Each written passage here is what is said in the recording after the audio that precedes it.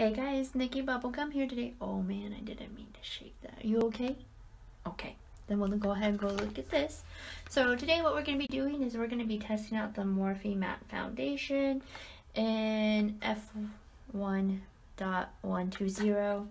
When I went to the Ulta store, they had the added the Morphe foundation, and I was so excited, so I bought it. And now we're going to see how it covers up all this red broken out hot mess. But before that, I'm going to put on some primers. So I'll be right back because I almost forgot.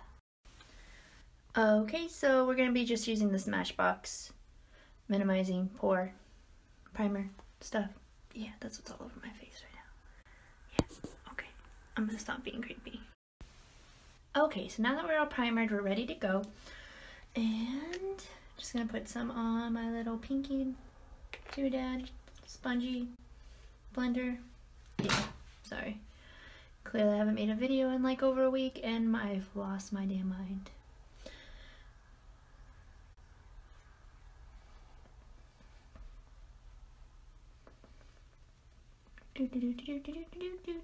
So it is Friday. I am off early on Fridays now because I just got a new schedule to where I get off at 12. It's like 2.30 and I'm just now filming because I decided to take a nap because I was tired. So yeah, um, we're just doing my makeup at like almost 3 o'clock today. And then I'm going to go out shopping with my friend Natasha and it's going to be a lot of fun. And oh my goodness, this I put way too much. I'm just going to cover my neck too now. And my ears.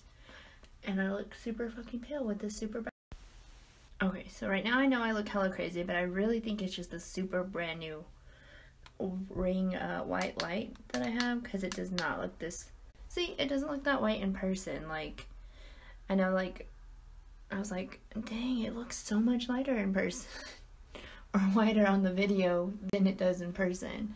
Cause I was like, dang, I look like a ghost. And I know everybody's gonna be like, girl, that's too light for you. But trust me, like, it, it blends in with my skin. Like, you can see no lines. I think it's just the super bright white light that I'm using right now. Like, Jesus.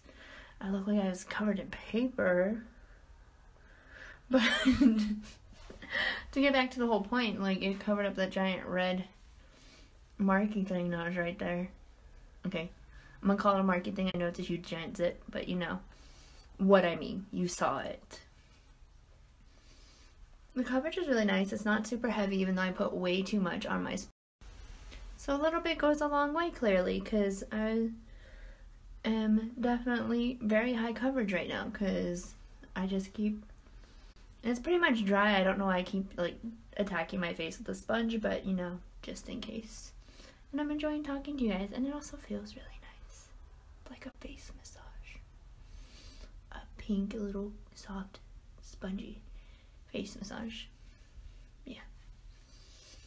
So let's go ahead and get into the review then. Yeah, okay. I, I know. I deserve to be looked at like I'm crazy. But I have cute little cat ears. You can't be mad at Kit Kat, right? So I really like how it feels. It's not like sticky or like heavy. It doesn't feel oily or anything on my face. Um, my face is kind of a little peely around the nose. And you can't really see it all that much unless you get super close. And I feel like it blends really well. Even when I put too much, I don't really see any lines. I like it, and I like that it's matte because I get oily and super shiny really fast, so I definitely like it. It also wasn't super expensive. I don't remember how much it was, so sorry about that. But yeah, I like it. So I definitely give it like a 4 out of 5. And they had such a huge color range, like ridiculous. Like this was like 1 of 5 and then there was like even like three sets of lower lighter colors all the way up to a lot darker. So I would definitely suggest giving it a try. I so far really like it and it's extremely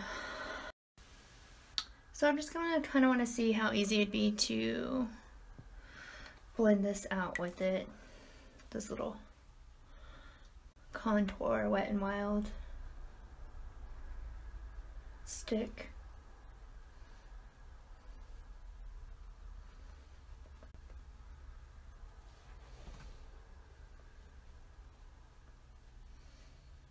I feel like it's blending really well with other makeup I mean, even if you use a liquid instead of more of like a cream stick or powder. I don't know. I really like it. Anyway, I would definitely suggest giving it a try. I feel like it works really well. I like how light it feels, and it's super high coverage. It's really covering the acne and the patchy skins really, really well. So, yeah, thumbs up. Let me know if you like this video, and if you're gonna give this a try, let me if you like this foundation, let me know what you've if you've tried it. Let me know if you liked it, if you didn't like it, um, your favorite aspects of it. I'm always been a huge fan of high coverage foundation with the whole acne issue. I need it. Um, so yeah, I hope you guys are having a beautiful day, my beautiful people, and I'll see you later. Bye.